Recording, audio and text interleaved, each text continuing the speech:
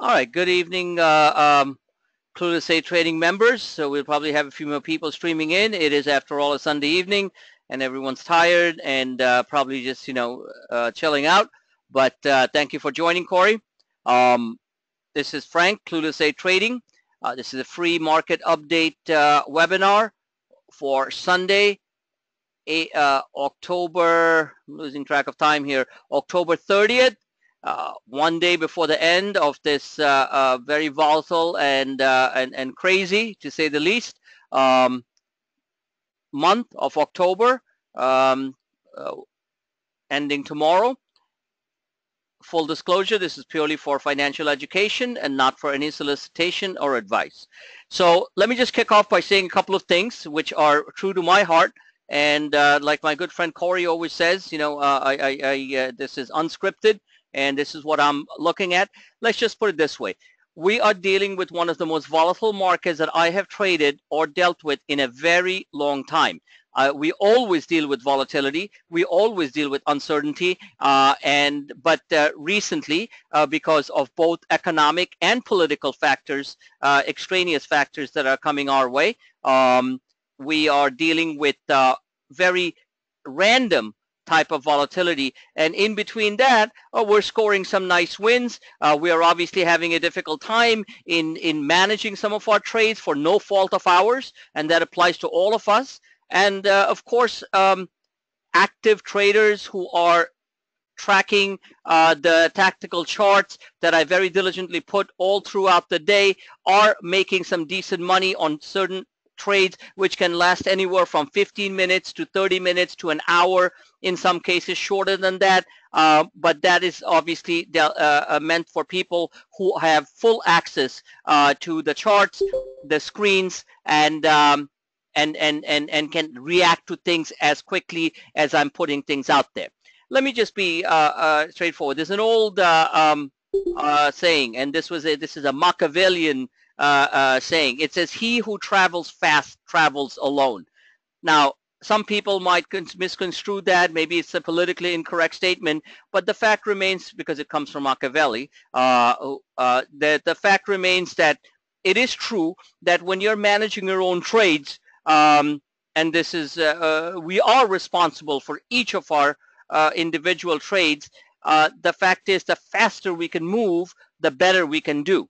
Now that doesn't mean that we are, that my goal in my in my service at Clueless Trading is to do five minute trades. But if somebody is going to play the volatility on an intraday basis, then they should be prepared to travel and move very quickly, and that is a fact. Um, what forecasting in this type of environment, to be very honest with you, is almost a futile game. However, I still try to do that and still try to put in my two cents based on my experiences having dealt with very, very terrible markets going all the way back from 1996 onwards. That was the onset of my career on Wall Street and in the financial world. Um, well, financial world was prior to that at Putnam Investments up in Boston, but there I was more on the analytical end uh, as a junior analyst. Um, the fact remains that um, this is definitely the speed and the ferocity of how things are moving, as you can clearly see in between all these pattern, struct what I call structured volatility. It looks random, but it is structured within certain ranges, as I keep on showing, is very difficult to manage. There is no question about it. What I will try to achieve tonight eh, within this hour, an hour and change, is try to uh, put in my two cents as to what I see uh, the the ranges can be what I think the bottoms could be, short-term bottoms, mind you, and also put in a few um, uh, uh, strategies that I use on playing um, the earnings part, uh, what we call ER plays. And uh, given the fact that we are right smack middle of earnings season and a lot of big boys and, and mid-level boys and small boys on the, when I say boys, I mean stocks, um, are going to be presenting their earnings and that volatility and, and those earnings um, swings pre-market and after hours, post-market, can be somewhat lucrative. Now that is only for people who have time to do it, but as I've always done, I like to share what I'm doing um, and what my feelings, you know, what my thoughts are about that. So I'll try to put all that together. And the last couple of minutes of the session, I'll leave it open for questions, um, and uh, and and and uh, and we'll we'll basically go from there. This session is going to be fully uploaded on the Clueless Day Trading uh, YouTube channel, so anyone can uh, view it. Hopefully before tomorrow, uh, before the start of this week, and um, and we'll go from there. One of the most important things I'd like to say that despite all the political shenanigans that's going out there, we all remain patriots, we remain Americans, and I truly believe in the, from the bottom of my heart that whatever happens will be for the good of our nation. And that's the bottom line fact. Because the way I look at it, in my in my years that I've been um, alive, um, I do believe that things do work themselves out because the uh, because the nation itself, as on its own, does correct itself in between all our deficiencies and the faults that we have. And that's just a personal thought that I just wanted to share. So saying all that, um, let's get into it here. What we're seeing here right now as we get into uh, the, the uh, this is early evening Sunday, um, the Globex futures on the global markets have started trading. Uh, China and those uh, large uh, markets haven't started trading yet. Uh, however, um, what we are seeing, what I see is, let's get into it. So First of all, um, there is no simple one plus one equals two, especially now in this phase of the market that we're going through. We have elections coming up in 10 days time um, or so. And, um, and I'm just going to put through what I can see. So let's go back to the bigger picture, which is the daily. And I'm going to start off with by looking at the daily chart of uh, the E-minis. In fact, let me just, uh, which is a, a more real-time picture of what's going on and, uh, and go from there. Let me just zoom in to what is important. Like to remind everyone, this was back in, in June when we thought the world was going to end, which I thought the world was going to end for a bit, to be honest with you, when Brexit happened. And then we had a, one of the most ferocious runs in the market, which we managed to capture a good portion of it um, uh, and and that was absolutely tremendous. Nobody expected the market to bounce from the 1980 level or so. I expected the market to go down to about 1950, 1960, if not a little bit lower. But hey, it doesn't matter what I think. It's what the markets want to do. We are all pawns in this game. We just have to try to figure out how to make money in between what happens. So this was Brexit right back there, as you can see I'd like to remind everyone on that because it's always good to have a perspective of where we're coming from. And I drew an uptrend line right now in real time, which I've done before, but I'm doing it again, on from the Brexit lows right here, touching a very pivotal point, which was touched on 13th of October, 13th of October, uh, where we reached a low of uh, the E-minis did at uh, I believe it was pre-market when we touched that uh, on on the 13th of a low of 2107. You can see that right here on the on the on the right hand side, and um, that is where this red line comes in. And I expected the market to come and touch the lower end of this uh, lower arm of the Darvas box, and also the lower arm of uh, where we had bounced from on on uh, um, what do you call it? Um, uh, the 12th of of uh, of uh, of September, but we never really got there, and that was around the 2100 level. What we did was we bounced off the 2106 level or so. So now, um, so this is this is an uptrend line that I'm looking at as a reference point. Let me get this line out so we are a little bit more clear on where we are because too many lines drawn on on top of a uh, market chart can confuse people. So let me get this out. These are the most important lines we're looking at, what I call the asymmetrical triangle, which a lot of the fantastic older technicians have also shown. And I respect their work too, obviously. And um, so this is where we are we were tracking in between the symmetrical triangle and then we, we broke down below that, tried to climb into it, failed, and now we are here. So, so where do we see what things are going? This is a daily chart. So for active traders, this really doesn't mean much. For swing traders, it does mean something. Because for active traders who are looking on a shorter, uh, or even non-active traders who are looking at shorter term time frames, who are more concerned about what happens on a daily or weekly basis, the daily charts really don't give you that, that comfort as I should say, or mental comfort that we're looking for. The mental comfort that we're looking for, which we sometimes like to be in denial of, is what happens on a daily basis. In the old days when I used to manage institutional money and high retail net worth money, I used to always tell my clients, everyone thinks long term and then freaks out short term. And that is exactly the case with traders. Traders like to think on a long-term basis or on a swing basis, but every time the market dips a bit or does all kinds of volatility moves, they either leave their trades, get nervous and do stupid things. And believe me, that happens to everyone. It even happens to me sometimes. The more the money you have in uh, uh, playing exposed to the markets, the more nervous is your frontal lobe of your brain. That's a fact. All right, let's not deny that. And we do stupid things sometimes. Also, how many times have we seen charts in most cases, most of my charts, 80% of the time, do arrive at that destination where I'm saying it's going to go. But in between, there is so much structured volatility that that a good that a good amount of traders are not even in the trade. But it gets there and I can name example after example after example of that happening.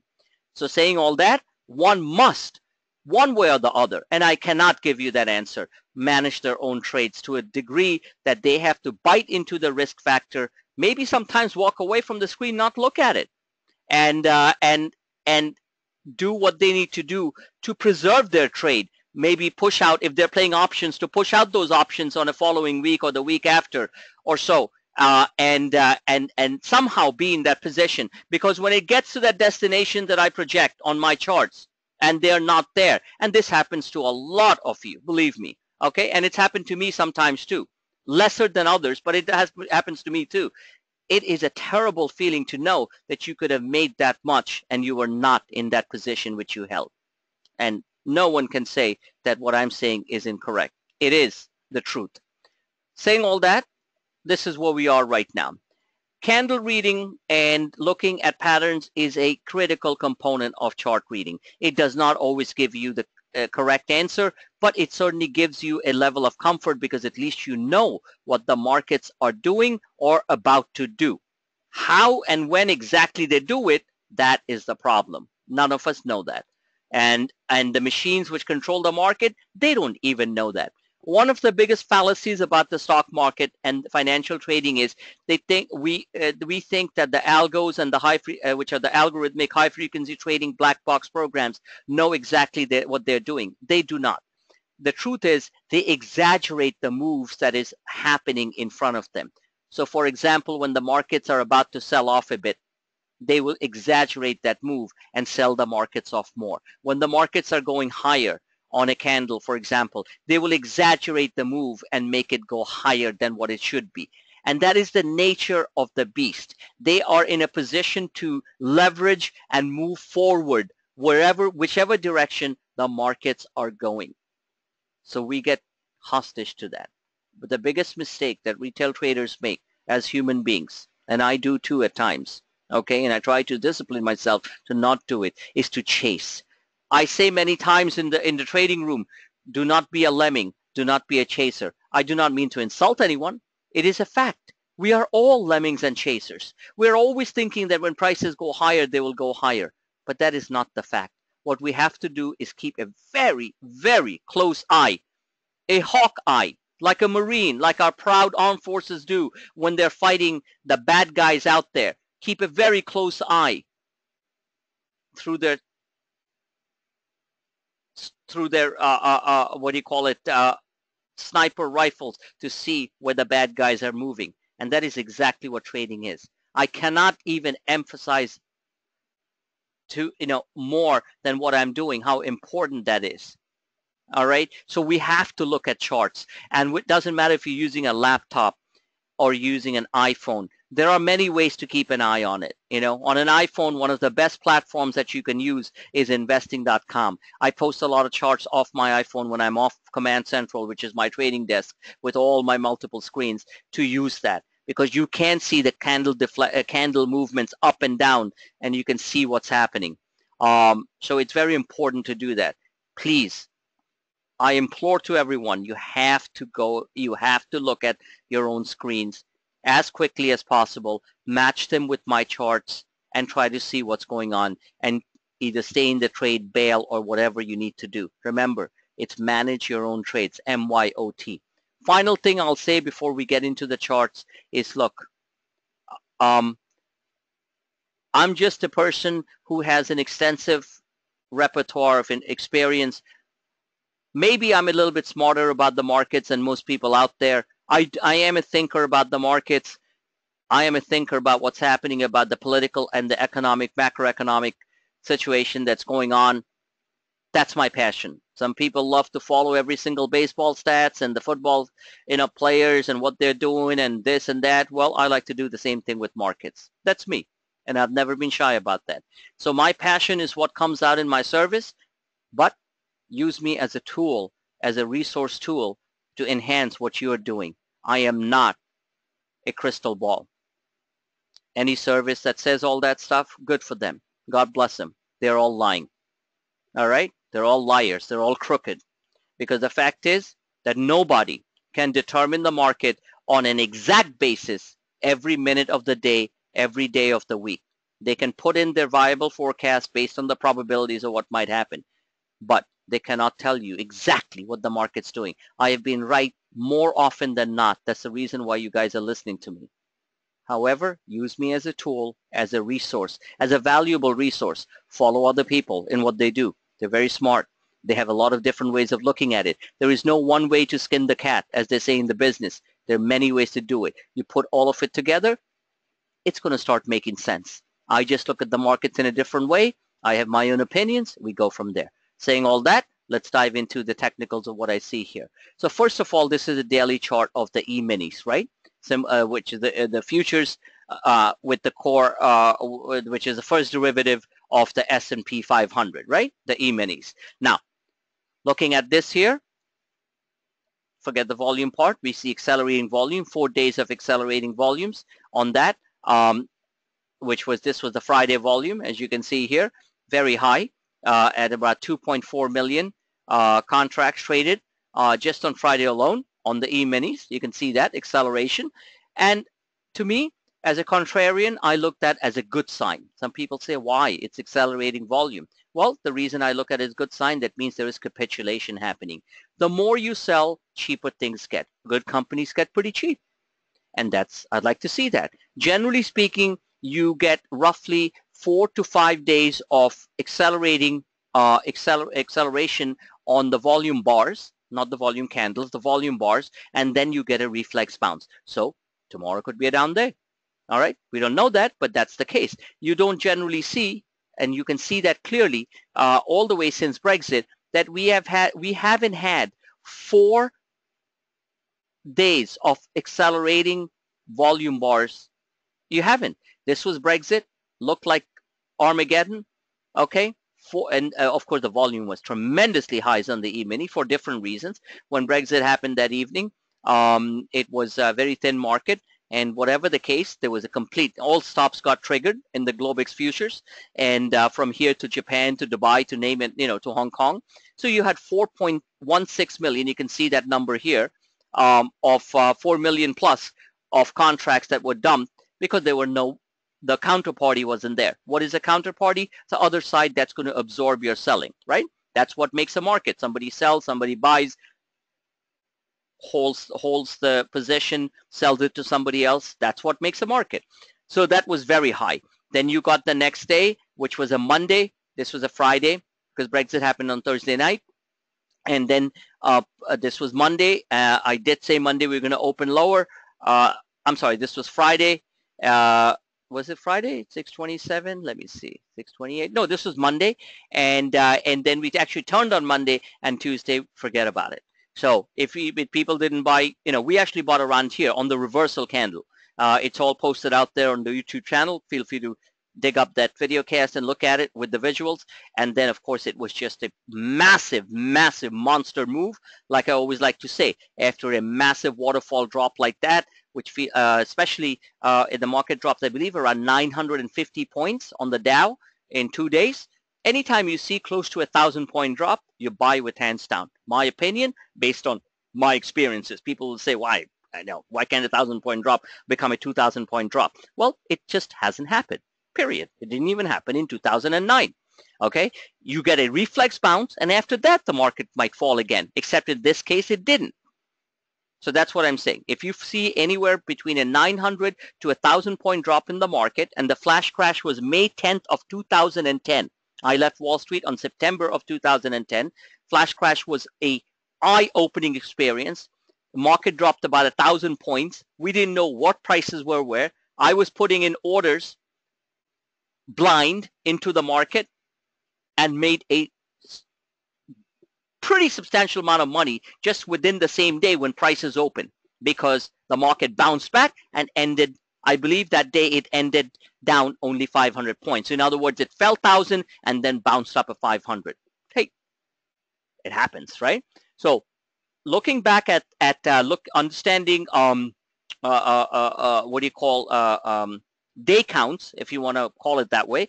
Um, this was two days, and then it bounced. So looking back at this thing here, which you uh, which uh, you can see, uh, uh, and and you haven't had we haven't had uh, four days of accelerating. We have three days here. Um, that was in uh, August. Okay, we had three days of acceleration in in selling. We had three days here again in sep early September. We had three days here on the first week in September. We had three days here in um, the um, 11th, 12th, and 13th of October. And now we have four days. So given the acceleration move, let's project that it's going to be one more day. You do not get, generally speaking, and of course, anything can happen, but I'm just saying, you do not get, generally speaking, more than five, maximum six days of continuous selling. You do get a reflex bounce. As tactical traders, we are looking at reflex bounces to make money or short the market depending on where it's going. If you look at this at first glance, from Brexit all the way here, if you count it, you will find probably equal or more the number of green buy bars, volume bars than sell bars. Okay? But that doesn't matter. I'm talking about the sequence on a continuous basis of a uninterrupted selling flow. Futures right now are down three, 20, uh, uh, three points, 3.25. Um, but that doesn't really tell us anything what will happen tomorrow. Believe me when I tell you that. In the old days, we could predict what might happen tomorrow by looking at futures on the night before, but that is not the case anymore. So let's look at the internals first before we go into the charts. This is a daily chart of the E-minis, right? Which is the back, the first derivative of the S&P 500. We are not yet completely oversold. We're not. You can see that by the shape of the stochastics. It is getting down there, but it is possible it gets below the, uh, the 20 line, the, uh, the 20 RSI, and then decide to move higher. Okay, so we have some further selling, in my opinion, in the works. And this is exactly what is going to happen. Now, what if it just turns from here? What between now and 8 and 9 o'clock, 9.30 tomorrow morning, we get futures down 10 pre-market. In that case, we will already have achieved what I'm showing here on a projected basis. These levels are maximum buy zones. These are the points of maximum aggression. What do I mean by that? That means for people who are serious uh, traders, okay, small or big, doesn't matter how much money you're dealing with. These are the points of maximum uh, uh, placement on the long side. You can see that here. You can see that here. You can see that here during Brexit.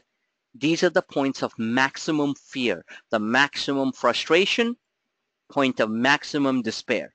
No question about it. I know it. I feel it. And that's the hardest time to put your cash that you have on the side into the market because you just cannot imagine that things are falling that hard. And that is when you make the biggest money over the next couple of hours, if not the next 24 hours. So are we getting there? We probably will. It might happen by as early as 11 a.m. Monday morning. We want, this is what we really want, honestly speaking. We want a thump down on Monday morning where we get the stochastics down here, just the way I've projected, create maximum fear, and then have the markets bounce from there. Saying all that, let's take a look at what we can expect on the actual prices on the e-minis, which everyone should follow if they do want to know what's actually happening within the guts of the market, which helps their trades. So let me just zoom in here and see where we are. So saying all that, let's take a look. This is your uptrend line from Brexit, right? We broke that. Fine. What we're seeing here is a classic, is a classic, and this I can see with my naked eye, a, a pattern of, uh, of robotic selling. These are systematic, orderly trading. Somebody in, in, in our group, um, always learning, um, uh, asked a terrific question. Goes, what is orderly selling? Orderly selling means there is panic, but it is being systematically driven and not just crazy panic. Crazy panic is dangerous because it is pure chaos and you cannot chart it. So this is more systematic. So saying all that, let me draw a downtrend channel. The up lower end of the downtrend channel coincides here with the lower end of this of this consolidation channel or let's call it a downtrend channel. It's no longer a consolidation channel. It's a downtrend channel right here, which matches this point where we had a massive hammer reversal. People like us who bought on the 10th at these levels, and I did identify that, not necessarily on Thinkorswim, on the Quad Algo HFT platform, people who reacted on it within one day made at least 110% on their S&P calls by the morning that the market opened up. It's a fact. All right. So saying all that, you can see that this is the exact level where we were. So do we dip down and test that? I would like the market to do that. This level also happens to be a very critical, very critical support level going all the way back to, please look at the date, going back to the 15th of September. Remember, the middle of the month is always the highest volatility. Okay, 15th of September. This also happened to be a support level which close to the support levels of the following previous days. Of course, there is one other level to contend with, which is down here at 2100. You can see that, the magenta line. Is it possible that we drop from 211968 60 or let's call it 2120, where we are trading at right now, as I speak on Sunday evening, down to 2100. Absolutely possible. That's roughly 20 S&P points. Do the math, roughly about 100 to 120 Dow points. And then we test the lowest end within the past month and a half or month or so month and a half. All right, which is right here as shown by Mr. Darvas, not drawn by me. That's automatically placed on it, and everyone should use the Darvas box on their platforms that they're using. 2100 would be a severe buy point. So another 100 to 120 points down, which is not going to feel good on the long side, would be, in my opinion, a very powerful floor where you would have a triple bottom. I mean, this is a double bottom, but a quadruple bottom based on these dots that you can see here or a quintuple bottom if you want to look at it and then we get a sharp bounce. Now does that sharp bounce mean we're just going to zoom on and get to the upper end of the Darvas and make a new high on the S&P 500? Absolutely not. As a tactical trader, biggest money is made in between the ranges that we're trading in. We're not dreaming. I'm not dreaming and hoping, oh, we're going to go back to the old highs and stuff. That's all garbage. We could very well break this line for all I know.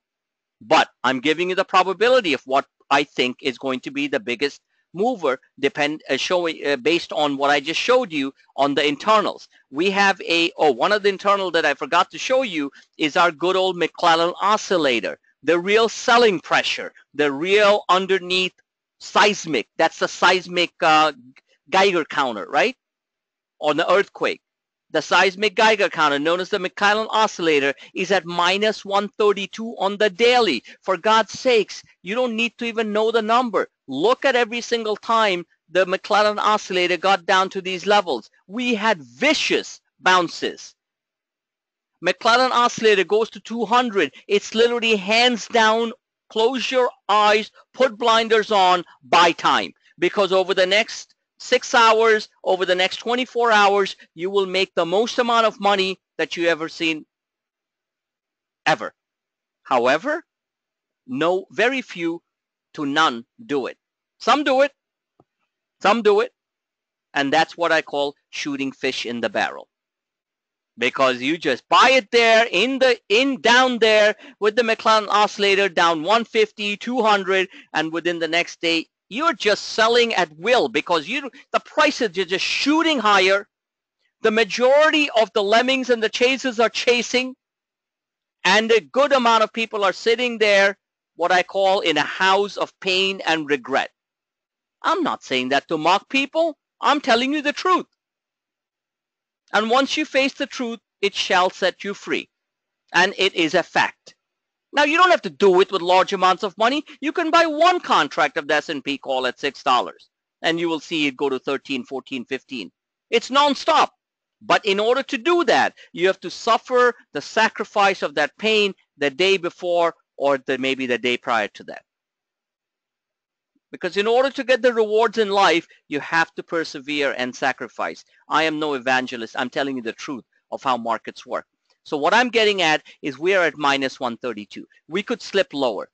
No question about it. Okay?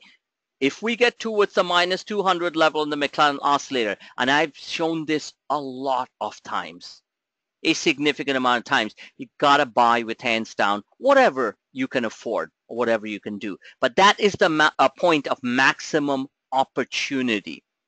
Maximum opportunity isn't when everyone's all happy and giddy.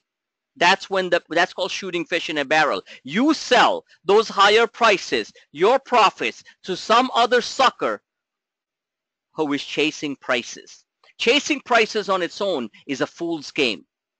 Believe me, I know it. All right? Prices going higher means nothing in a machine-driven market. It simply means we're getting overbought and the and the institutions and the black boxes that control the market are going to sell the crap out while you sit there and try to buy it because you're excited that the market's going higher. How many times has this truth been thrown out? And I've constantly kept on telling people, please, please, please don't do it. And they still do it. Some still do it. It's a shame. Don't do it. You cannot just rely on prices and to make a determination whether or not it's worth buying those higher prices.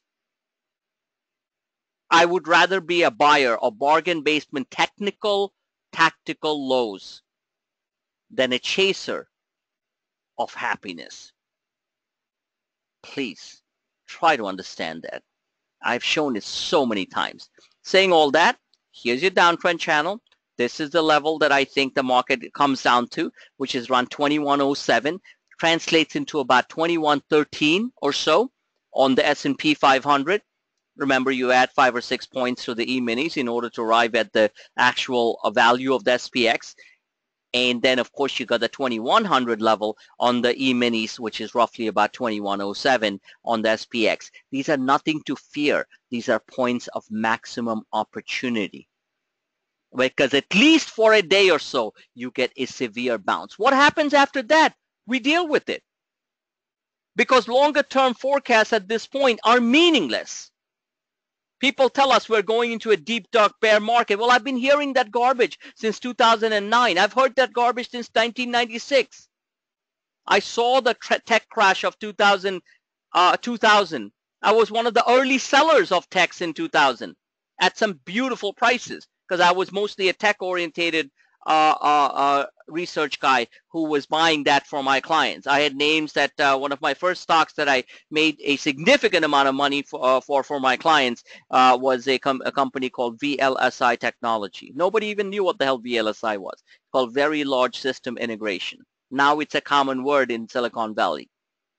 Okay, so I'm just saying, like, do not just look at prices and get excited get into looking at the underbelly of what's going on. So the underbelly of what's going on, uh, if you want to look at it that way, uh, from a pattern perspective, uh, let me try to show this. A bull will say this, and I know I've shown it on my charts, that look, this, tracking the prices, looks like a, looks like a triple bottom dragon bullish formation. That's what a bull will tell you. I don't know whether the bulls are right or the bears are right.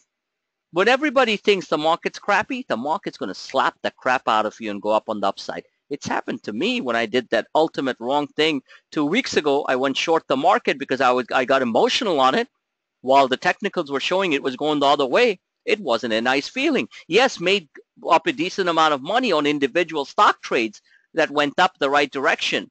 But on the SPX, oh, it wasn't pretty. So the point is, a bull will tell you this is a uh, dragon bullish formation. A bear will tell you, let me get this out. A bear will tell you that this is what's going to happen because the world is just falling apart. The world never falls apart because by the time the world really falls apart, you're not going to be a trader. Tell you that for a fact, okay? That, oh, this is it. It's going to go completely down. It's going to follow the channel all the way down to 260. That's the bearish view. Can it happen? Sure it can. Will it happen in a straight line down? Absolutely not. That's the only thing I can guarantee. Nothing happens in a straight line down fashion. Straight down. Has it happened before? Very few times in the market. Even in 2008, 2009, during the great market crash. So levels that I'm watching, these are the levels that I'm watching period. Okay, we're getting deep oversold. We're not there yet completely, but we're close to it. Looking at the shorter term picture of what might happen, we look at the one hour.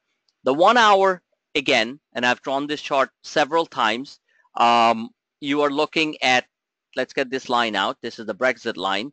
And just take a look at this. Okay. Again, you're looking at a low of 2107.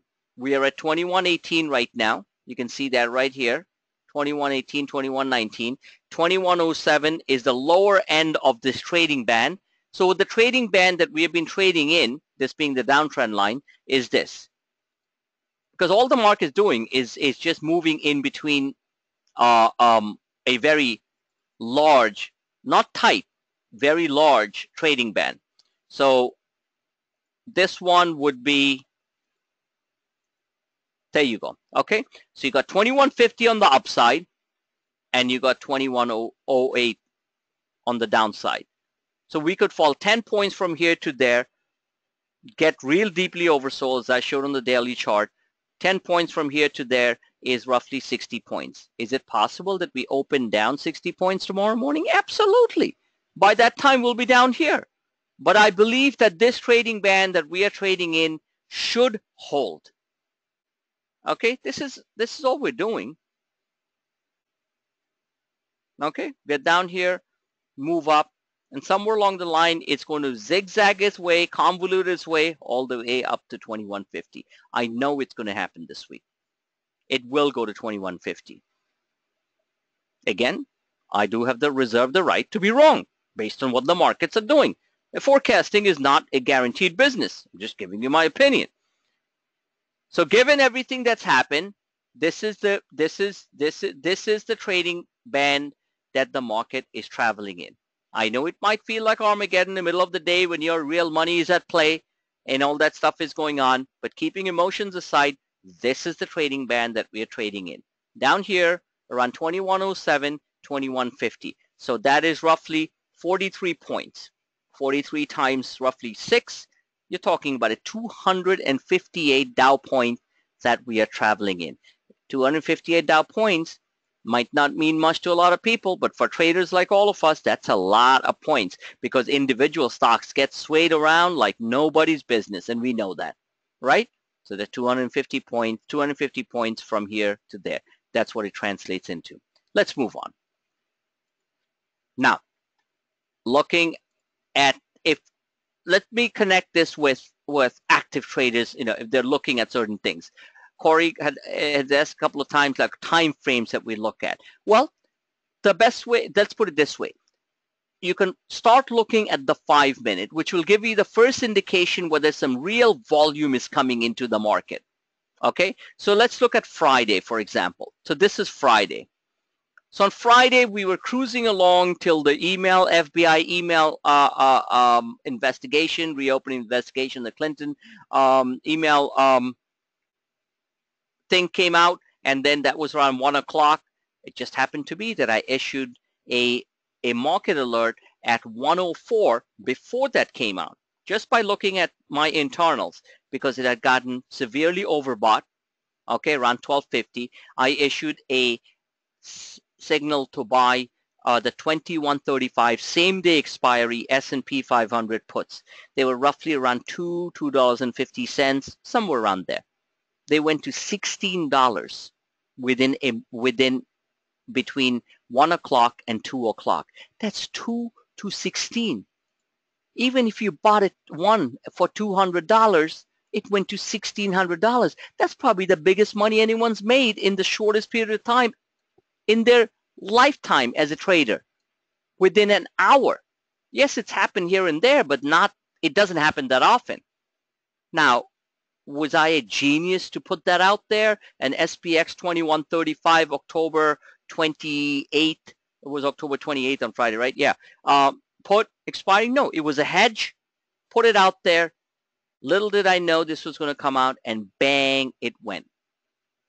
Now the way I, the reason I did it is because I, my multiple charts, not just Thinkorswim, but specifically the ones on the Quad Algo HFT platform. And as you know, I put multiple charts out there for people to use their brains, focus on it, understand it, match with their own charts and do what whatever they need to do. Or simply look at my chart and say, okay, he's putting an arrow out there saying it's overbought, this and that. Maybe I should go ahead and do it. And some and some did it. And boy, did I get enough um, individual messages via email as well as on PM thanking me for that alert. Well, God bless them that they took the trade. Don't have to go crazy. You can buy a couple. You can buy 400 bucks. That'd be $3,200. Right? So the point is that, um, so the point is that uh, you got, um, sorry, not $3,200. What am I saying? You know, 400 shares, uh, this uh, would be um, the calls were two. So if you bought two calls uh, at uh, at uh, uh, you know at, at four hundred dollars, yeah, it'll be thirty two hundred dollars. I mean that's that's crazy, but it happens. That's the market for you. I mean, just showing you real life examples.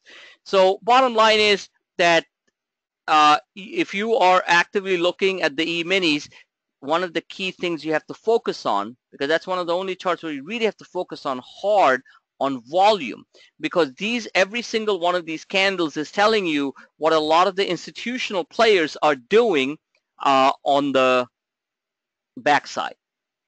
So you got this big fat down, then you got a minus uh, a short covering, and you can see how the volume rose tremendously uh, since the FBI um, investigation news uh, broke right? Right from there.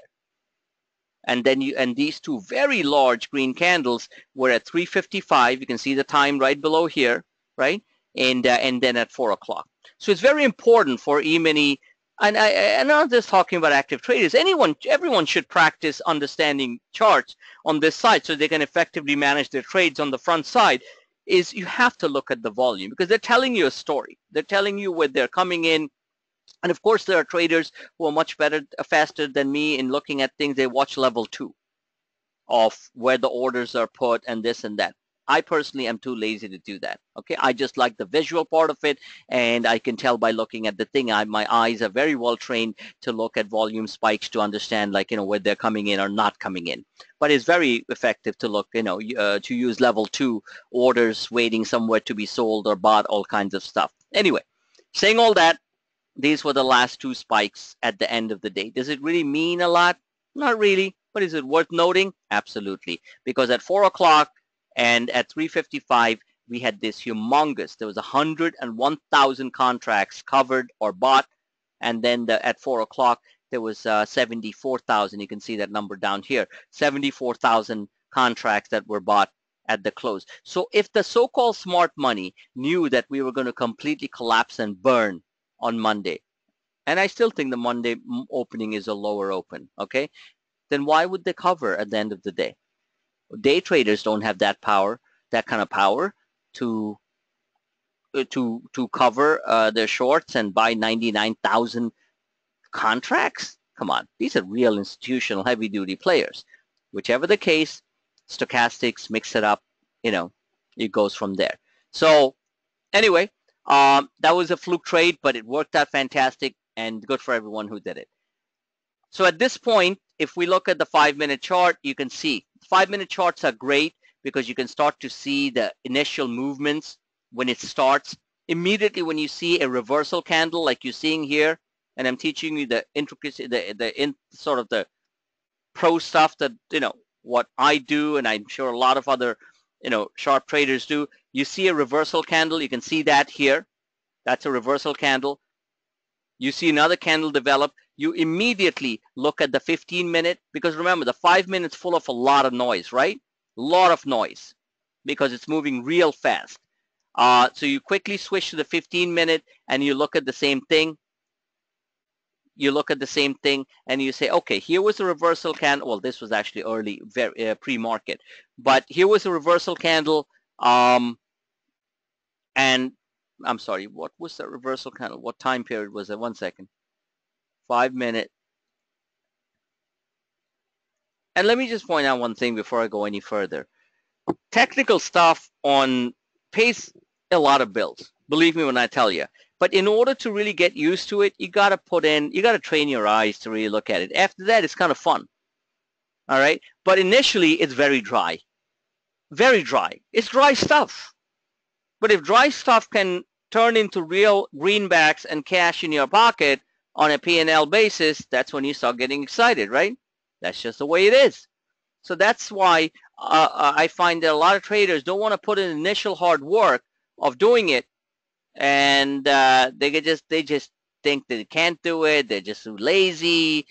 You know, they don't want to understand the candle movements. It's really not that hard, believe me. You know, my parents were doctors. My dad was a surgeon, and uh, and my mother was a pediatrician.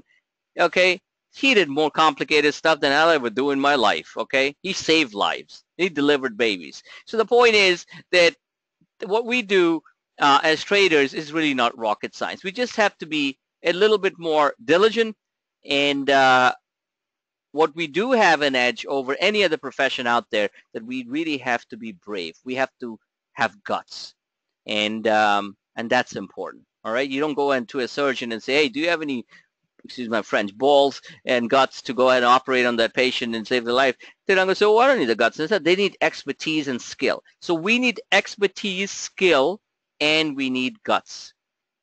All right? We need grit, like I, like I mentioned one day. We need grit. So that's the difference between us and what other professions are out there. So saying all that, uh, talking about reversal candles and stuff. So here was a reversal candle. Oh, this is the one, right? 405.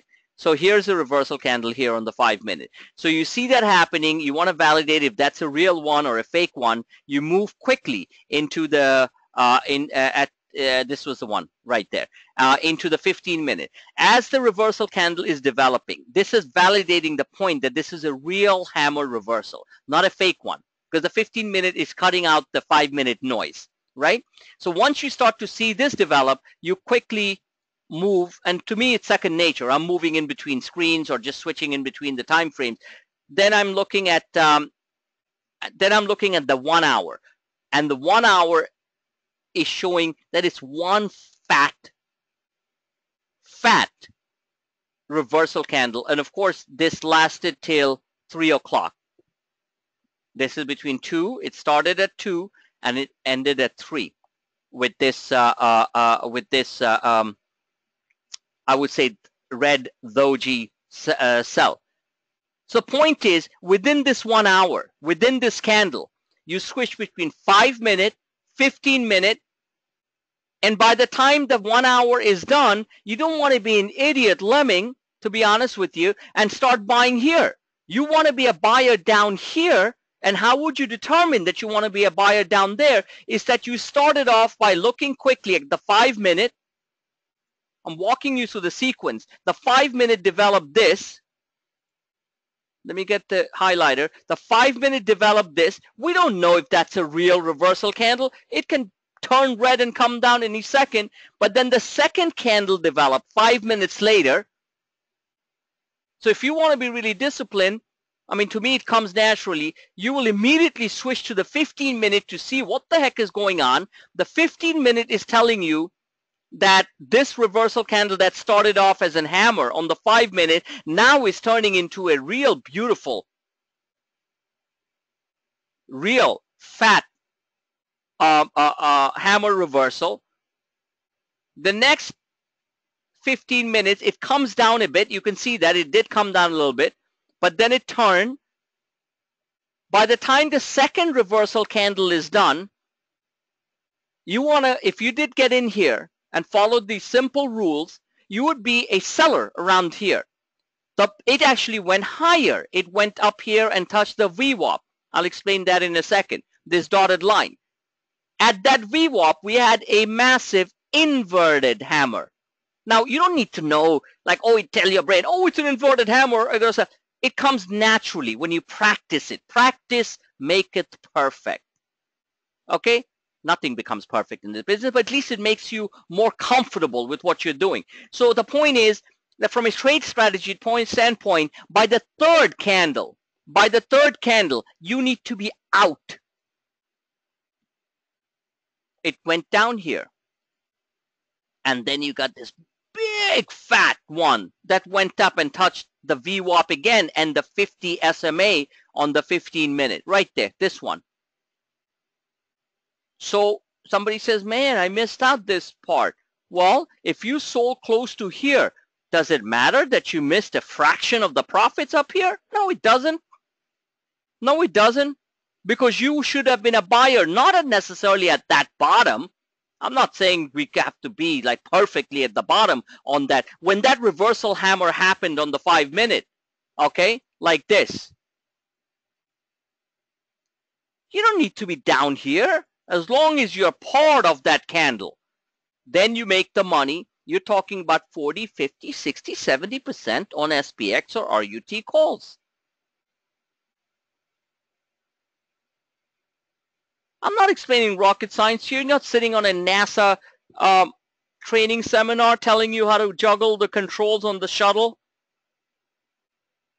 Guys, let's keep it simple got to train your eyes to understand these things that happen. You all have computers. Yes, a lot of you have day jobs. I fully understand that. And you should have a day job. I wish I had a day job.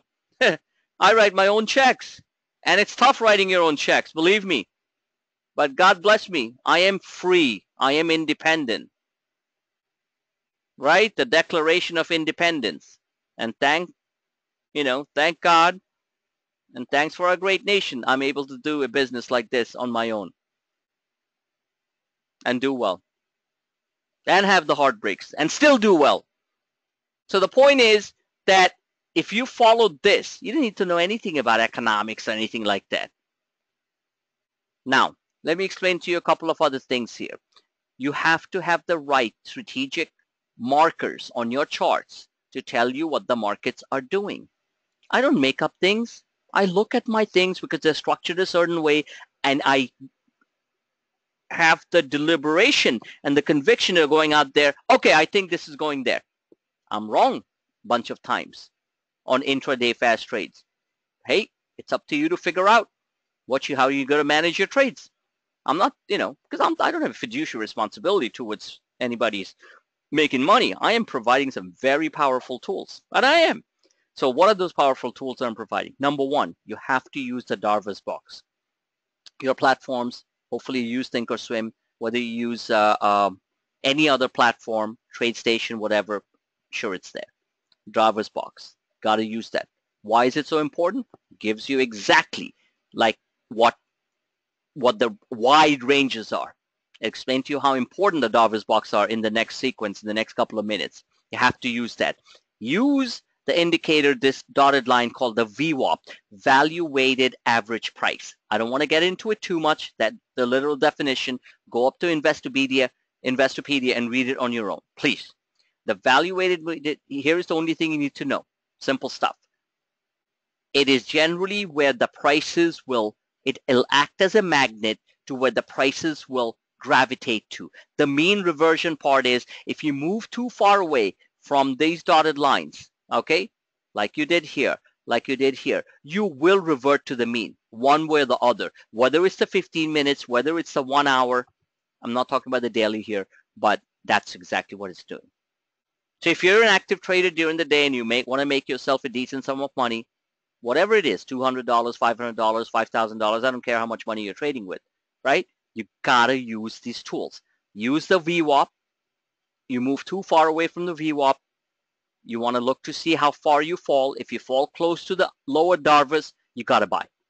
As long as the Darvas is not doing another stair step down, that means there's more selling to come, you got to buy the lower Darvas. You got to look to see the volume because everything is interrelated. So your eye, you need to basically, you know, you need to basically look at it quickly and say, okay, the, the, the good old stochastics, deep oversold, this is a 15 minute I'm talking about, shorter term trades. All right, intraday stuff. 15 minute is now oversold. You say, okay, this is oversold. We had four large sell candles. You generally get three or four. You very seldom get five. Just remember that. You're starting to see this turn. You start to see the green bar, volume bar appear. That's short covering right there. This is that five minute, on the five minute chart, this was the candle developing. You see an expansion of the bar, you can stay with the trade. Of course, this red bar scares the living daylights for idiots who got in up here. And I will call them idiots because they're too slow and they're lazy and they're not looking at it or they're too scared to buy down here, which is pretty much what happens with traders. Traders are always so fearful to buy the reversal hammers. Why? That's the point you need to buy. So they're feeling comfortable by now. They buy here, and guess what? Plop goes the weasel. Or pop goes the weasel, right? So there you go. It comes down, they panic, they sell, and then they want to slap themselves silly because the next candle would have made them a good deal of money. Some of them sell here, buy here, get slapped again, want to cry and rip their hairs out because the next green candle takes them higher. Well, what can I say? You can take all that heartbreak away by being somewhere in this zone, looking at the deep oversold st uh, stows to happen. Now, if somebody wants to stay in that trade for a good hour, then they have to follow the stows. Look at the stochastics. Despite these candle fluctuations all the way up here, the stows kept on going higher. Kept on going higher. As long as the stochastics, and I've said this a zillion times and I'll keep on repeating to eternity, okay, till I keep on trying to help people with my with the Clueless trading service. As long as the stochastics keep on moving higher, you want to stay with the trade. Once it gets up towards the 80 level, which is getting into that overbought zone up here, Let me get all these lines out here. What if this is climbing up? You want to stay. Oops, sorry. You want to stay with the trade. Period. And I can't even impress on people that they should do that. And I hope I, I don't know a bunch. I know a bunch of you do that. I just want everyone to do that. So the point is that we're talking about this section here. Friday, Friday, okay? Not the, the thing, the 15 minute. All right, there you go. Here's Friday. Good. So the stows here are moving beautifully higher. You want to stick with the trade. Do we know exactly that stochastics are going to turn down from here? No, we don't. But as long as you catch this section of the move, which it'd be this section of the move, you just made yourself a decent sum of money. Shut your machine off, walk away.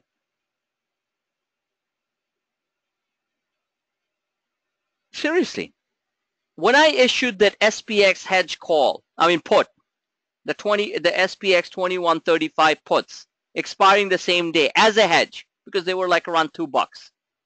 That's not the reason why I recommended it. I recommended it because we were overbought right there I didn't know about the Clinton fiasco and all the garbage with Huma Abedin and, and all that BS about, uh, uh, uh, you know, the computer and stuff, which I think is just completely pathetically wrong on the part of the Clinton administration.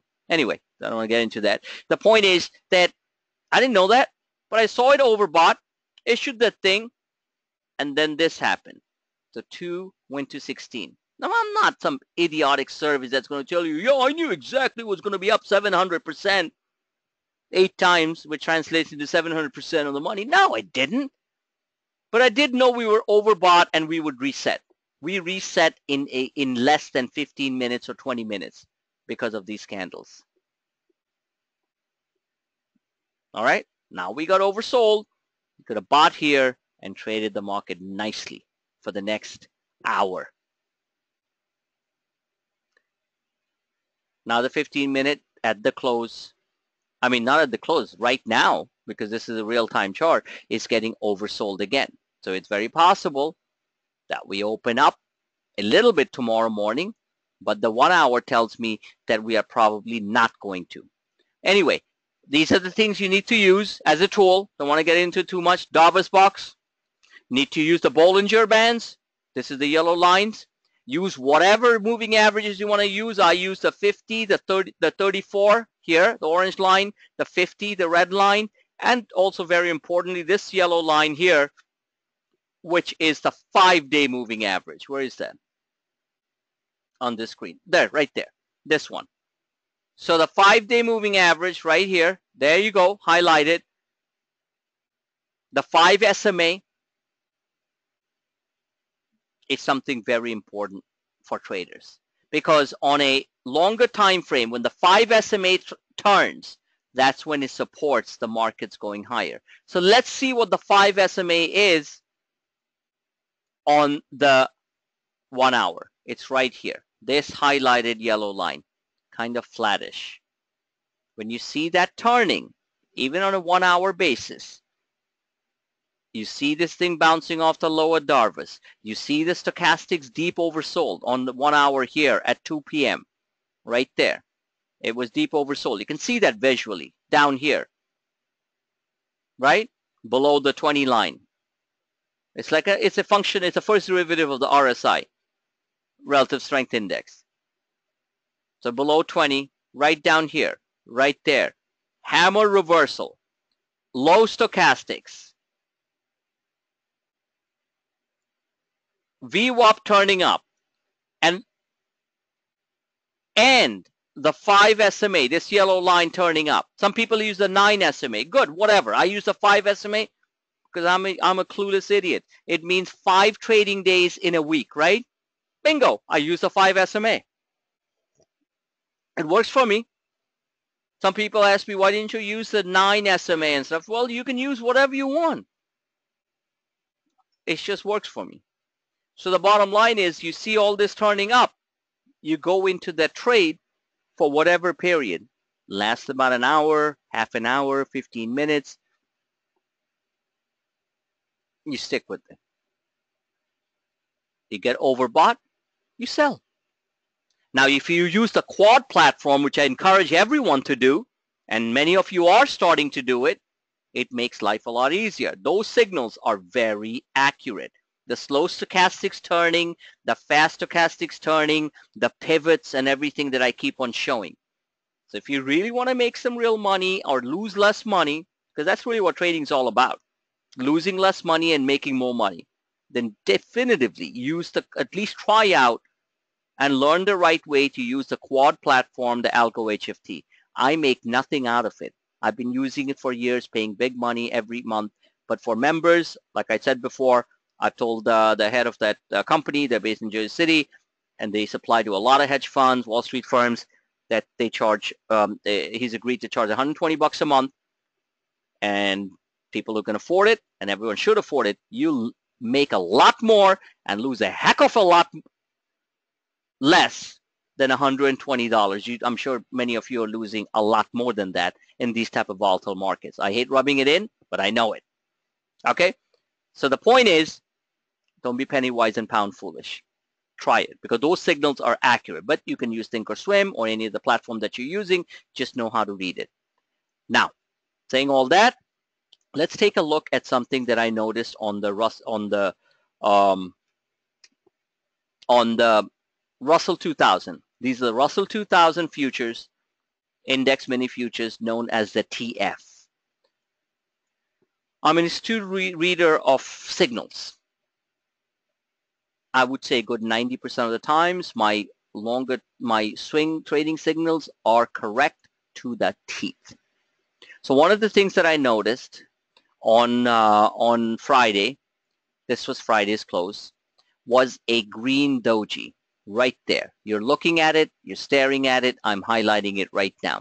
When you get a green doji like that, it is a pretty damn good sign that we are close to a very powerful tradable bottom. I repeat, we are close to a very powerful tradable bottom.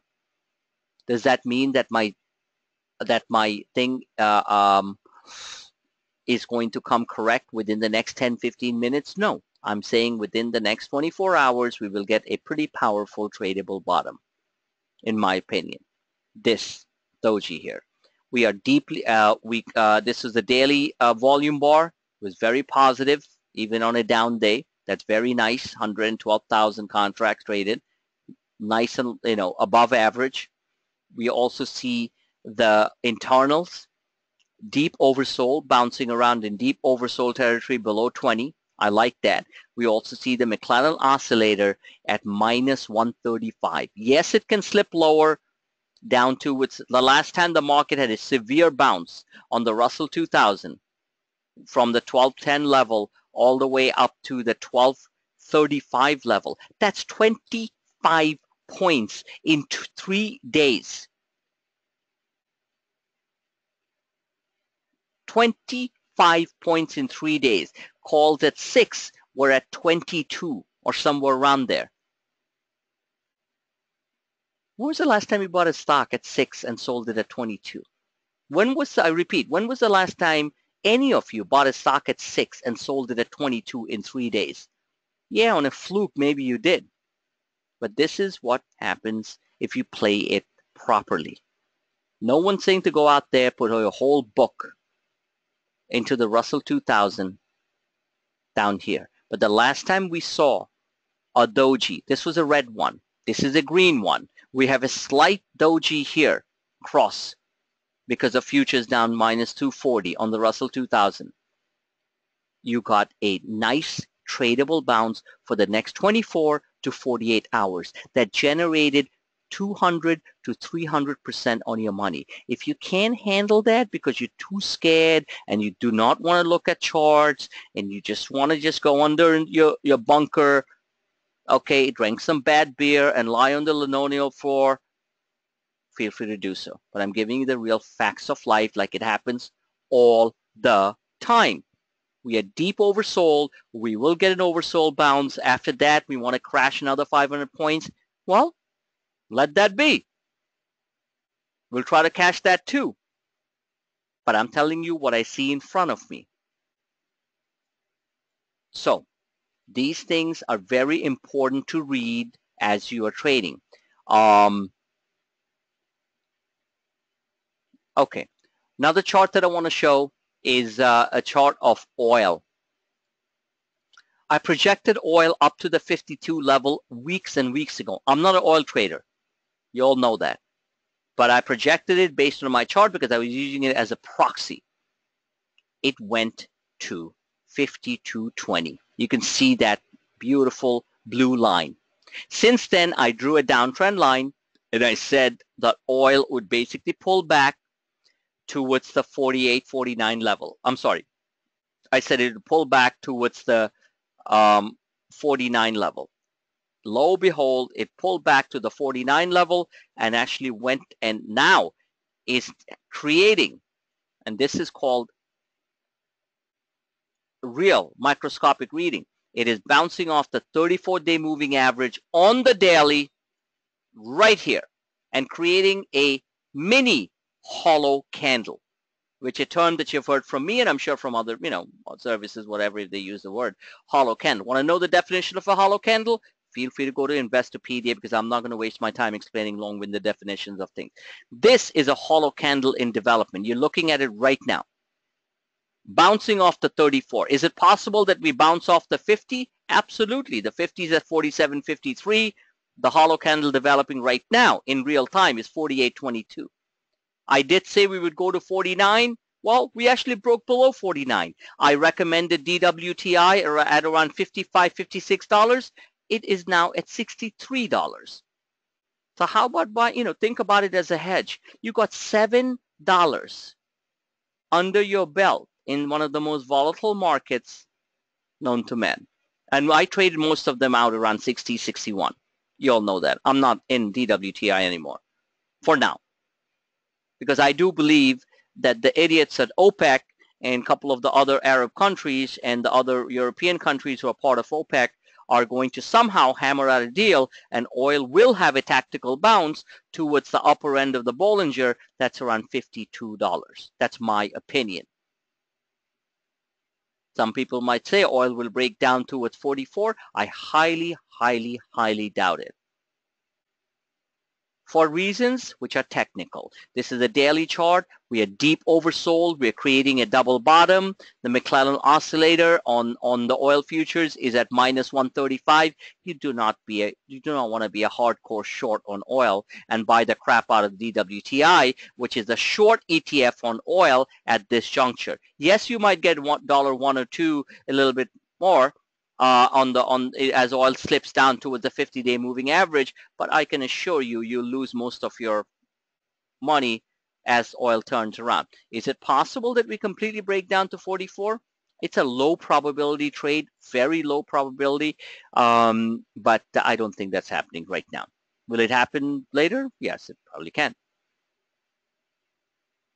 So saying all that, um, you have to you have to follow you have to you have to track the charts period. And I make life a lot easier because I constantly keep on putting some very tactical charts out there. All you all have to do and I say this with real sincerity because in a way in between my so-called tough self I do care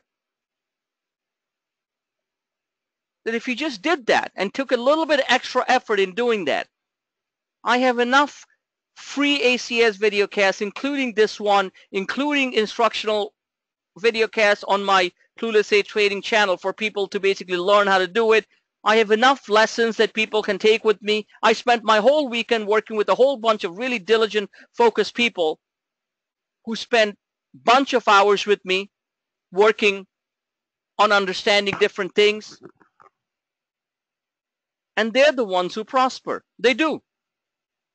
Not because I'm a genius trying to tell them exactly how it's going to happen. Excuse me, how it's going to happen.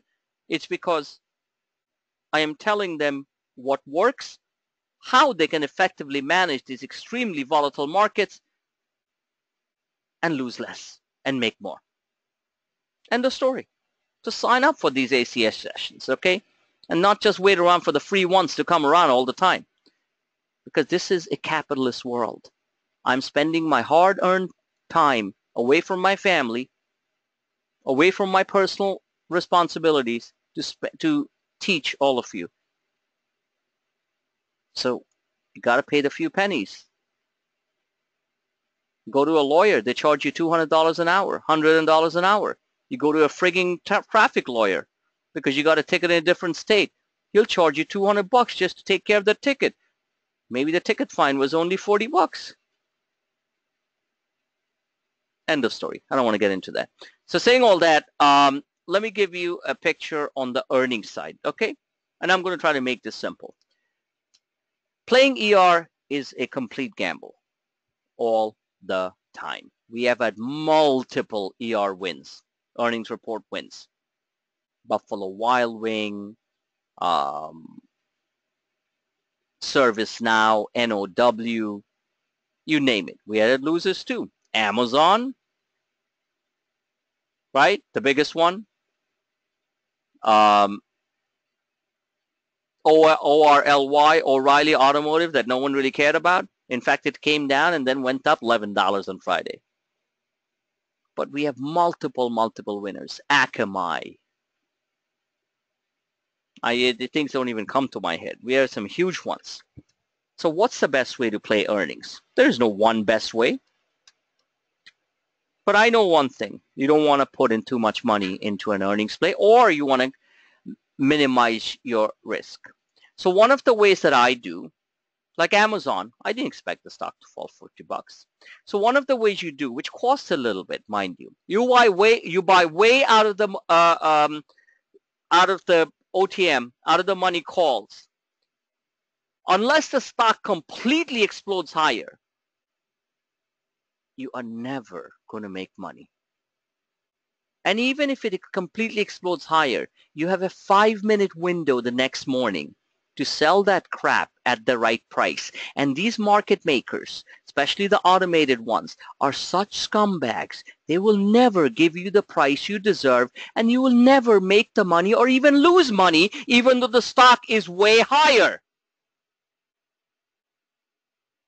I learned that a long time ago.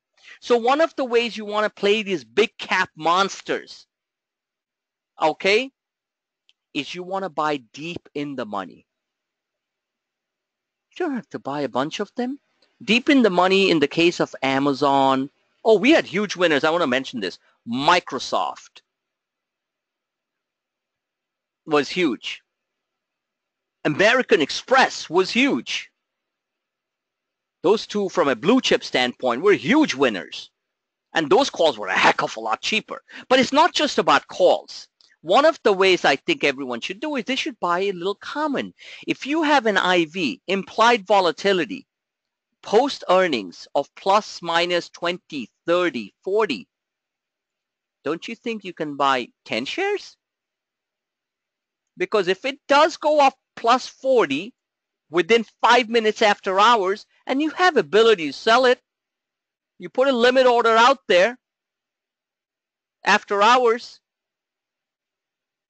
You just cleaned yourself. And I'm looking at the you know lower denominators, $400 for doing nothing other than doing the right thing or the smart thing.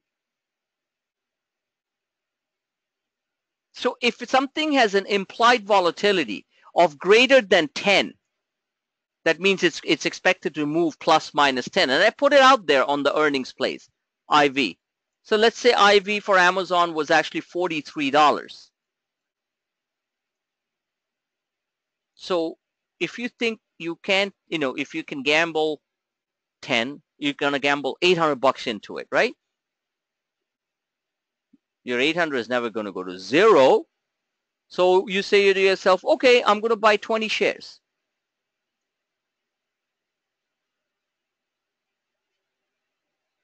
All right. So the point is that the 20 shares on Amazon are 10 shares, depending whatever size, if you have a day trading account or not, whatever, margin account, you obviously have to do it in margin, will cost you roughly $800 and change. Stock goes up I'm sorry, uh, if the stock goes up 40 points, you just made yourself $800. Stock goes down 40 points, you don't have to panic and lose 800. That brings me to my next point. Amazon was $823. Oh, coming back to the options, you want to buy deep in the money options, $10, $20 in the money. One option can cost you up to $3,000 or can cost you $1,500 or can cost you $2,000. So you look at it and say, oh my God, it's like 2,000 bucks. Well, the fact remains that if you're going to play not the stock, but you want to play the option, you got to treat it like a stock. So you're playing it for 2000. If Amazon did go up 40 bucks, your $2,000 would be $4,000 and you would feel like a champ. And it didn't go down, your $2,000 will be down to $500. So the question is that if you buy deep in the money and not immediately two days out, meaning like, you know, expiring the same week or so, maybe you bought the next week and this does cost you money, it is very possible that you'll recover your 2000 bucks because look at Amazon. The stock was 820 bucks. It plummeted down to 750, 745. It went as high as 790 right there at around 10 o'clock on Friday and closed at 776. Looking at this chart, does it really look like that the stock is spiraling down here, regardless of what the dogmatic bears say and whatever? And I'm in no love with Amazon because if you all remember, I wasn't even trading Amazon for the past week or so, while a bunch of traders in our group for no, you know, who did pretty okay here and there, were trying to chase Amazon. Because I don't like playing bloated stocks. So different ways you can do it. You can buy a deep in the money call you can sell a call. You can buy a put and do a straddle. And I did mention that, that we buy a put right at the price of where it is at. You can buy the same week's October 28 put. We should have delivered some decent sum of money. And the small put that I had did deliver the money nicely. Not enough. Why? Because the stock didn't, you can do options at 750. The next day, the stock opened up nicely at 781, which brings me to my point of how to play after hour stuff. And it's not rocket science. Some of you do it. So let's say, for example, you see, you know what? I have those calls. I know they're going to open lower whatever the case. You don't have a position before earnings and you want to play this. The stock stocks like this don't collapse down 200 points and keep on going down. It just doesn't do that. That's something you just have to know. These are core holdings of major mutual funds and, and, and institutions. And Amazon didn't do anything wrong. They just said they would spend more. Some haters will say, oh, it's a bloated company. They don't do, you know, I don't want to get into that. Okay? I have analyzed more companies and more of you guys have seen balance sheets and income statements. Believe me when I tell you. So I just don't do it. So looking at this here, so that somebody put, put out a limit order and they get done, and I did this, they get done around 750, let's say around 760. They put a limit order out there on that bounce, and this happens very fast. So you have to put a limit order out there. So let's say you put a market order, uh, sorry, uh, you have to put limit orders out there and uh, after hours, like you say market. So you put a limit order out there, you get done. Above that, let's say. The stock within 15 minutes or less went to, it didn't go there. This is a false spike. Went to 7 close to 790. It did go there.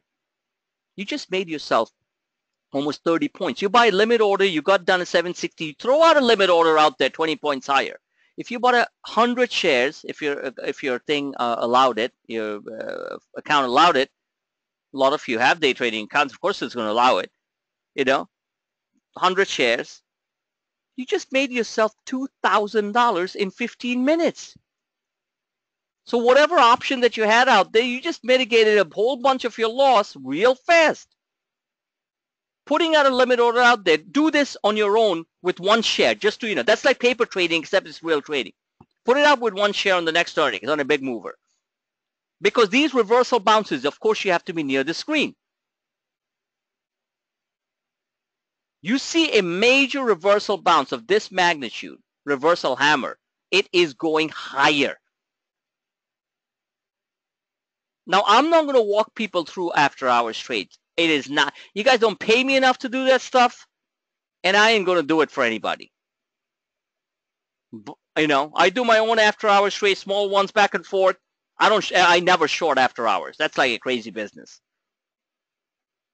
On the long side. The same crap happened with Expedia. The same thing happened with PayPal. Expedia went up 16 points. I'll show it to you in a second. So you let's say you get done at 260, not at 245, 745 where the thump was. That's too fast. Unless you had a limit order at 745 because you knew it was going to 745, then you're lucky. So 760. Within minutes, it goes to 790. Let's say you didn't get the 30 points. You get 20 points of that. You just made yourself $2,000. Or if you put 10 shares for kicks, you just made yourself $200 to take your wife or your partner or whoever you're with for a nice dinner. But it's more important other than a nice dinner and the money is the confidence level, the practice that you build. This is the only way you learn. This is the only way you learn. Not by listening to me, not by listening to other services, by doing it on your own. Now, once it did that, it pulled back. And if you're really watching the screen, you can actually see the candles. You could buy a little bit here around 770. You can see it rising. Pay a little patience. It goes back to 790 again. Again, you can make another 15, 10, 15, or 20 points. And then you say, enough, I'm done for the day. I'm, I'm actually taking my wife or whoever I'm with for dinner. So you can play after hours on reversal bounces. Let me show you Expedia. Now you don't need to hold it. You can close out that position the stock eventually closed at 8 o'clock at around 776. Next morning, it opened at 781. Now, Expedia, look at this. And this is not something that happens infrequently. It happens a lot. It happened with the boring fart company, excuse my French, like PayPal, which bounced down. I saw the reversal candle, bought a bunch. Stock was up $6 by 10 o'clock the next morning from where it was. Expedia thumped down. I started seeing this reversal candle. And by the way, I have traded Expedia before only during ER. And I've seen this happen before. Algos, forget retail traders. Retail traders, all of us included, are a bunch of morons. And the biggest morons are the ones who try to be analysts oh, these numbers, you know, they don't make sense. Bullshit. If you're doing all that, you would be a star analyst on Wall Street or some other big financial institution around the world and not making stupid comments on StockTwits or anywhere else for that matter. I mean it. And that includes me. That's why I don't talk about it. I know a heck of a lot more about earnings and stuff to read it, you know, read those earnings, understanding it and the macro backdrop behind it, but I don't make any comments about it. So here you get a reversal move down here. You start to see this candle develop. You're not an idiot. You know this thing's going higher. So let's say you put out a limit order. It hit 116 and you get down up here at 120. Or even you get down here at 122. In 25 minutes, 20 minutes, it went to 137. So once you get that limit order in, you say you put out a limit sell out there for $10 higher or manually track it. Look at this baby. Went down, pulled back, still higher. Next day, 10.30 in the morning, goes back to 133, closes at 131. What was the low pre-market? 116. So just want to say that you can do after hours trading with a small amount of shares. You can forget about the options because options are manipulated heavily. Unless you buy deep in the money and the stock is way up, you are not going to make money on that. So forget that day, that, pipe dream that many of you have, that if you buy way out of the money calls, you're going to make money. Nine out of 10 times, you're going to lose money unless they're real lottos on a boring blue chip like Philip Morris which I've never played, and I told you guys to buy those options at 60 cents. They went to a buck 14. That's almost 100%. So that's pretty much it. Deep in the money calls, like Priceline's coming up. So looking at Priceline's chart, we don't know what's going to happen. Chart looks fantastic. Look at the daily chart. That is a good looking chart. But it doesn't mean that it come, can come down to the lower end of the Darvas at 4, 1429 and the stock closed at uh, 1478, right? It's still going to be an uptrend if it comes down to, to the lower end of the Darvas. Here's your low. Let me draw this for you. So if you buy calls out of the money, you're finished. Here's your uptrend line, 1350. Worst case scenario, the stock will drop 150 points. Touch this uptrend line. Here's your second secondary uptrend line, which is holding. This line should be in blue. Bear with me.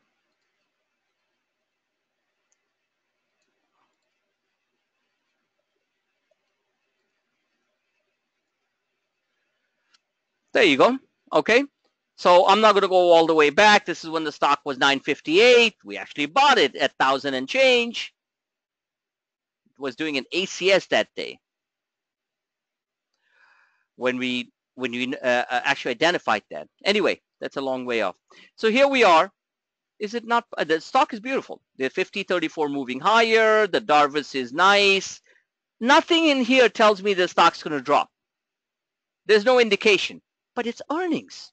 They will manipulatively drop it and then boom, take it higher.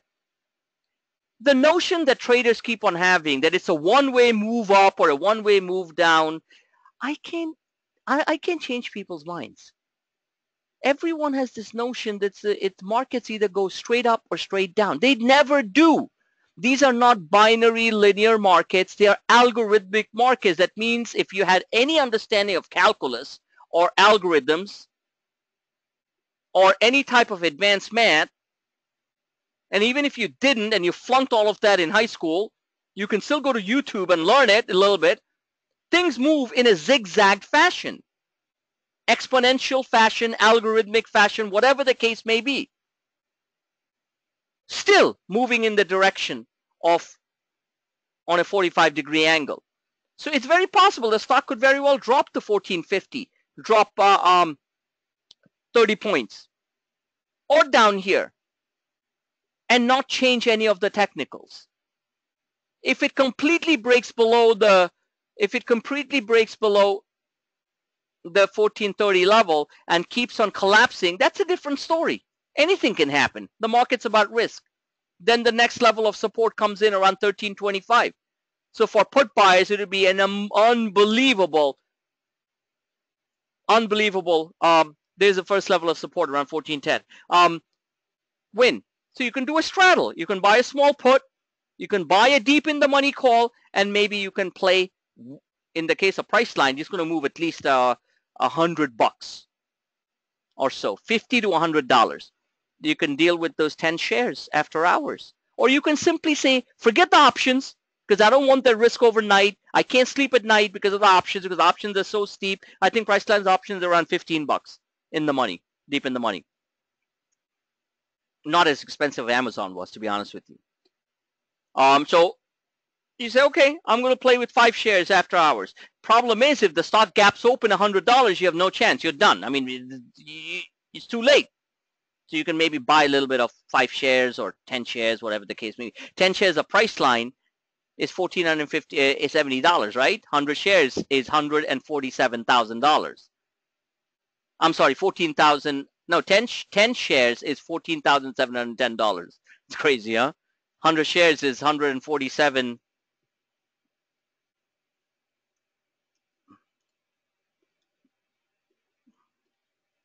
One second. Just want to get these numbers right. Yeah, I was right because the numbers are so big. It's $147,000 for 100 shares. So obviously, like, oh, hold on, I don't have the buying power to do that stuff. So buy two shares, 10 shares. I don't know. If the stock's going to move $100, you figure out what you want to do because that is the IV on the stock, implied volatility. So saying all that, with the case of earnings, that's, and again, I'm not going to go on and on about that stuff. There are many different ways to play it, but I'm showing you a simple way that you can do it. And there's no way of telling on earnings. No way. The most inconsequential companies that people don't follow, and I mentioned a bunch of them, like VeriSign, people might have noticed or not noticed, was up $7. Akamai was up big, $10 or $11. It was up 12% the next day. ServiceNow. So that's, like I said, you got to sometimes look outside the usual names to do it. That's it. No more. I'm tired. Corey, you have any questions? Yes. Go ahead. Can, can, you look? Can you look at Amgen? I thought Amgen come out great earnings. I thought that. Uh, um, Again, that even, let me let me stop you for a second. Good. What did I say a few minutes ago? Uh, I know, I know, I know. I know. I don't know. what happened with Amgen. I had a few Amgen calls actually. They just went blue and completely blown up. I don't what exactly happened there. I don't know. I mean, they basically the stock was down a little bit after hours, but they literally took a hammer to this to this uh, thing, and now it's like cheap as hell. So I don't Yeah. really know what happened. Uh, but here I'm looking at Amgen. So let me do my quick uh, uh, uh, thing. These are like to me, if I had no idea of Amgen and I looked at this chart, I'd be like, okay, I'm ready to buy it, give or take a few points. You know, the three-day rule. You wait like a like three days for the margin selling to um to to to to uh, dissipate a little bit. So I would be a buyer on Amgen probably around the hundred and forty dollar level. You know, because that's humongous. You know what this tells me, and I'm giving you my opinion. This bar is so frigging huge.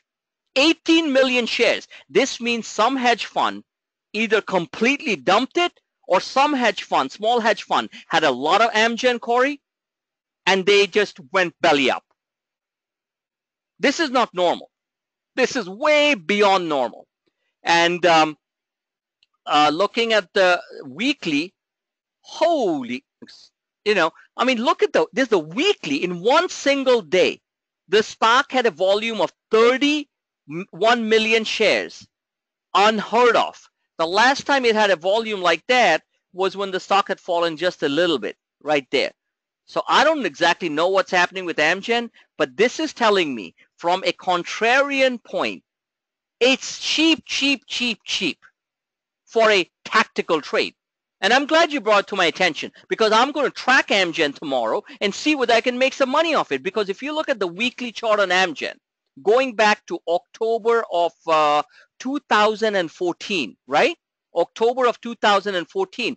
This is a beauty.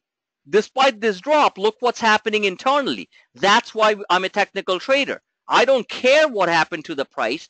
I mean, uh, to, to what the news was and stuff. There's way too many things to like, you know, think about. I'm not a biotech specialist. I like the stocks. I mean, I like the technicals on a bunch of stocks. But this is telling me on a weekly basis that despite this humongous drop, we have a whole bunch of things going on. Capitulation volume, that means massive, which might continue a little bit more, you know, in the next uh, 24 to 48 hours. But the internals are crossing over on the weekly, on the weekly. So that's a good thing. We are the lower end of this weekly Darvas, which is 142. So we can slip a little bit more and come down to here, maybe 139, 140. That's normal.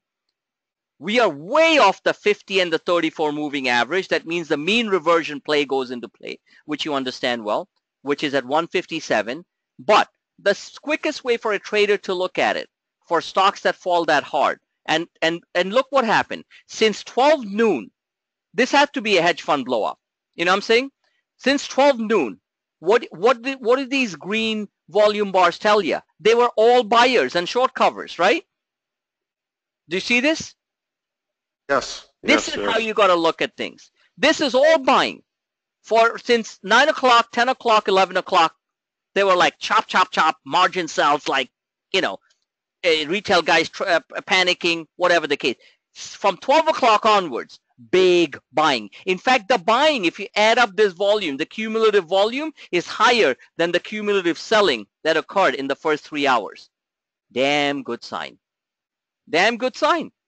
So looking at this, the quickest way to do it from a technical perspective is you do a Fibonacci retracement or anybody can do that. So on a Fibonacci retracement, you do this. You look at the highs of the stock on the previous day. You draw it to the lows of the stock after hours or the next day. And you and and I you know I, I've done Fibonacci retracement and they work. I mean I've been doing it for years, um, especially on waterfall drops or water or, or or sort of euphoric rises on stocks. You can do that in a normal pattern.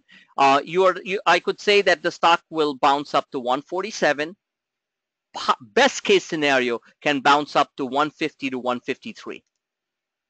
So that's just that's that's basically the technical version of a tactical trader's version on Amgen. Aside from that, I have no idea why the stock got sold like that. Well, there's another one just like this, and I Go think ahead. you know is is ISRG, and that one's sort of starting to warm up. Of course, some. of course. I actually, you know, I uh, lost uh, uh, uh on that, but I, I still I, I still have a little bit of comment on that. ISRG basically has to be looked on on a daily basis, right? So ISRG, um, these are very high growth companies, right? So with them, when they don't meet their guidance, um, these funds basically clobbered them. So in the case of ISRG, the way you look at it is, uh, one second, you look at a trend line on the stock when the breakout uh, uh, actually happened, uh, which was somewhere in this zone here. Uh, if I may add that, this was the breakout on ISRG uh, back on uh, on June of of this year. And one second. And ISRG and stuff, just remember one thing. The reason I don't trade these stocks on a daily basis is because they're very thinly traded. Uh, in the case of ISRG, in the old days, uh, I used to be a very active trader on that, especially on earnings. There are only three or four market makers on the stock. And what happens is they control the whole flow. So it makes it very difficult to be liquid on these things. And, and, and so I just leave it to earnings, play a little bit, and then I move on. But saying all this, this stock is so oversold here. The mean reversion here, the standard deviation, the fall, is probably around the minus 4 at this point. What does that tell me? Here's this blue line is the multi-year breakout on ISRG, which occurred around Brexit, around that time, or around July 4th, okay?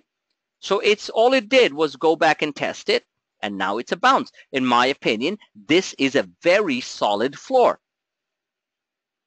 Now, the, the mean reversion tells me it's a very good possibility that the stock can bounce up and test this down slightly downward sloping 50 and 34 day moving average. I've seen it happen over and over and over again. So if that's the case, then the stock is good for about 26 points from here to there. If the stock breaks this multi-year breakout line, then we are in trouble. That's the next level of support comes in at the 625 level. I don't know. I think it's a low probability trade. And at the same time, in same like ISRG, similar to Amgen, you saw big buying on Friday and you're starting to see a nice tradable bounce coming up on the on the internals. So those are the intern those are the technical readings on a stock that has fallen uh, from 720, 660, which is 60 points. In the case of ISRG, I don't want to make light of it. 60 points means nothing.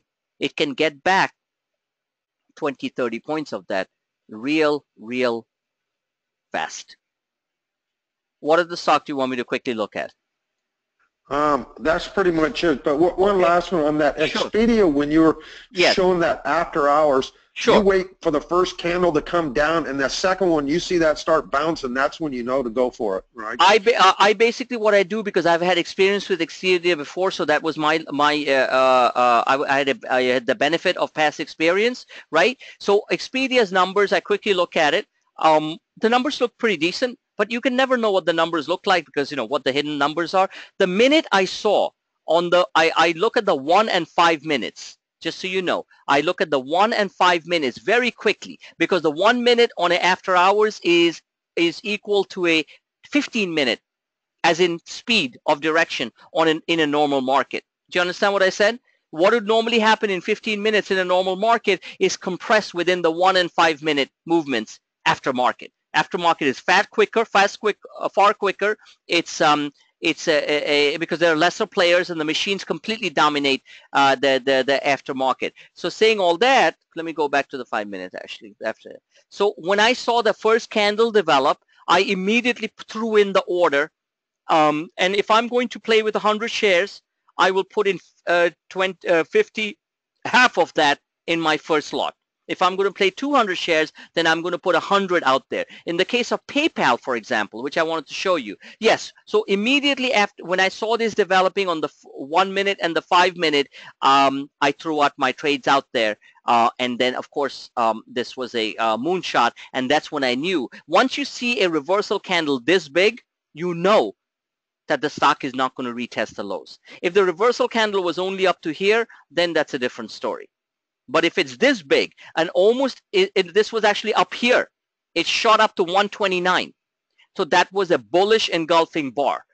And that gave me the confidence to say, okay, you know, because that the, the first lot that I, the 50 and then the 100 that I threw out, I was out of it in this at, at, this level, and then I watched it very carefully, saw this started developing again, and then I went in again. So it's not like I, I bought those 100 shares in this range and held it all the way up here. No, I sold my first lot, felt good, went in back there, and then added a little bit more. And like I said, you can play with small amounts. You don't need to play with 100 shares because remember, if a stock is moving 5, 10, 15 dollars that fast, that quickly, you don't want to play with 100 shares because your money will be down $1,000, $1,500 within a matter of minutes and it's not going to make you feel good.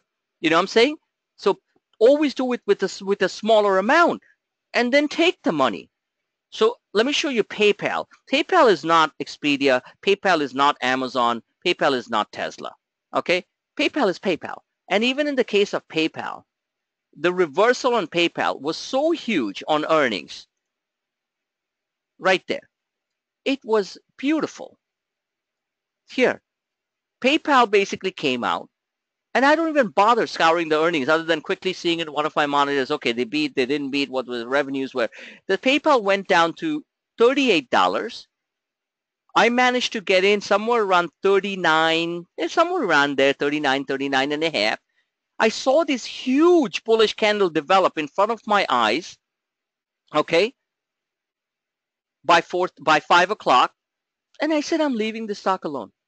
Now notice how different this pattern is than Expedia. Expedia was more choppy. Expedia was more choppy and then it shot up. Here it created a candle and continue its way higher. So by the time 8 o'clock rolled around, and that's my last deadline to get out of the stock or not get out, right? I, uh, which was, you know, uh, um, sorry, I'm trying to see where, yeah, it went up here. What I did was I took half out and I left my other half in there and the next morning it went up another $3. Now that was my, deter my determination to make based on what I saw happen after hours, where after the reversal, there were absolutely no sellers. Get it?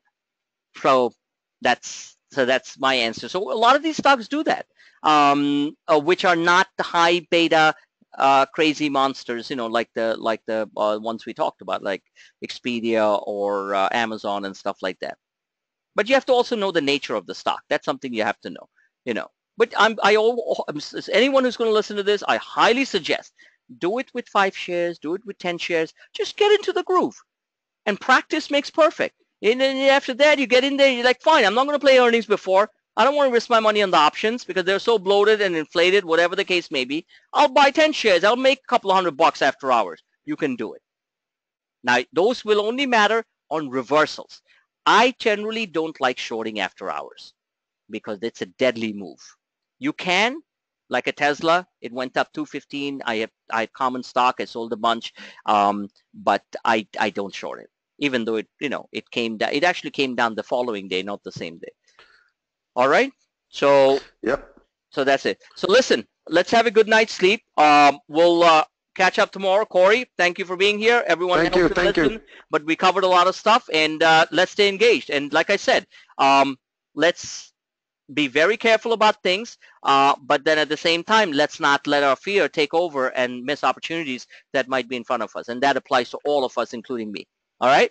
You, so. you, you know, one last thought. Sure. I think there's a good chance possibly yes. IBB might get a bounce because if it looks yes. like Trump might be gaining, yes. yes. You know, off of Clinton. I, I completely 110% agree with you on that.